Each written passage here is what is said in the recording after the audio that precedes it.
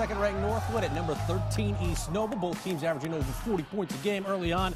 Northwood, oh, looking like they would put up more than that. This is the Panthers' opening drive. Bronson Yoder slipping through the deep for 26 yards and a score, 6-zip Northwood. After an East Noble punt, it's Northwood striking again with Yoder, 14-zip Panthers right out of the gate.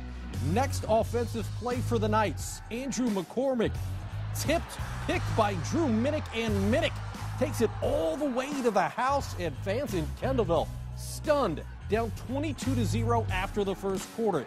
Second quarter, East Noble with some life. Xavier Van Allen blocking the punt deep in Northwood territory. A couple plays later, it's McCormick punching it in. And East Noble's now on the board down 22 to 8. Still in the second, after another Northwood touchdown, McCormick striking again with the feet. This is a 25-yard scamper, makes it a 30 to 16 ball game. But just before the half, Trey Belinsky, one heck of a quarterback, he looks and finds Landon Gessinger for a 20-yard score, and Northwood wins 52-24. So it's New Haven making the drive up to Northwood next week in what should be a fantastic, fantastic regional championship game.